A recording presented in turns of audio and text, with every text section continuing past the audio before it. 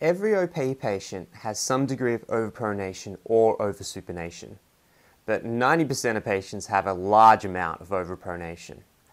And so a common question that I get is, do I need orthotics to fix my overpronation or oversupination?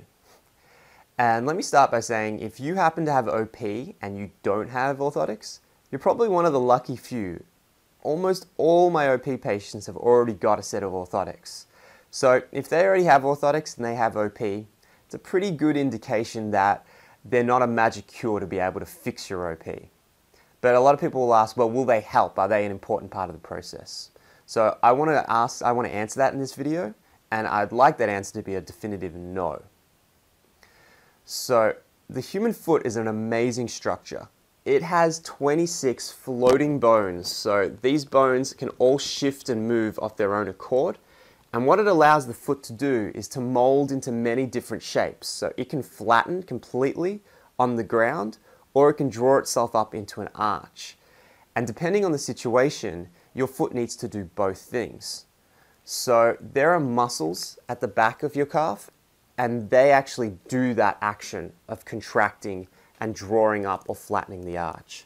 So when your foot first hits the ground and you're running, there's a lot of force. You're going from your foot being weightless to your foot slamming into the ground, and your body gets heavier as you go faster. So you can weigh as much as eight times your own body weight when you're sprinting. So that first initial foot strike what your foot will do and what the muscles in the back of your foot, called the deep toe flexors, will do is they will contract and they will make the arch rigid so that as you hit the foot, it can be nice and stable and it can kind of bear the load of that first brunt of being hit and not completely collapse. Once it's held its position, and that's where it supinates, it will then try and dissipate and soften that load. You want to think about when something hits a really hard object, hits like a car and they have crumple zones, it's very much a similar phenomenon with the foot. You first have this hard hit and then you have this crumple zone, which they call pronation, where the foot is going to spread and absorb that load. And that's the role of the deep toe flexors. As this foot spreads and stretches, the tendons are going to stretch and the muscle back here stretches, and it acts like a trampoline. It absorbs your body weight to make sure that the pressure and the load doesn't shunt into the knees or shunt into the lower back and cause you an injury. And much like a trampoline, these deep toe flexors, they can absorb the load of you landing and make it safe, and then they can take that energy and bounce you back up. And so the best sprinters in the world are doing this. They're landing on their feet, their heels are barely touching the ground, and they're springing back up as if there are trampolines under their legs. Now, orthotics will correct overpronation and they can correct oversupination. And what they're going to do is obviously they're going to create a structure underneath your foot to hold your foot in a certain shape. But as we just discussed, your foot needs to do two different shapes when it's moving. It needs to go into supination and pronation. And you need these foot muscles activating and being active in the process, not being passive. And this is where orthotics can fall down a little bit.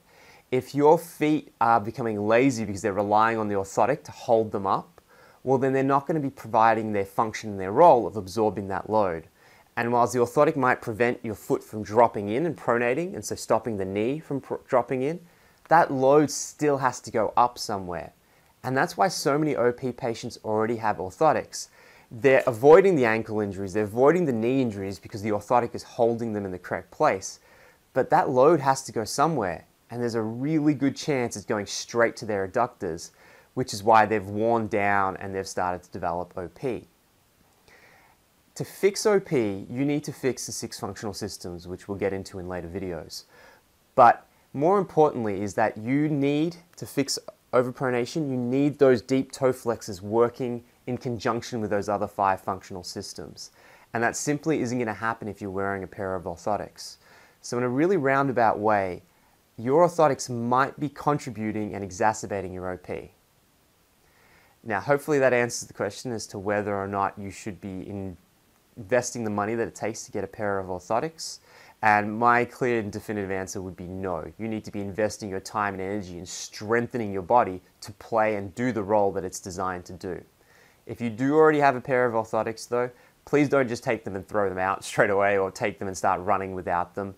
Your body's probably gotten used to them, and you're going to have to take some time to slowly build up the strength to be able to provide the role that the orthotic is providing right now, and to do it in a better, um, do a better job of it. Um, so just wean yourself off them, don't just take them out straight away.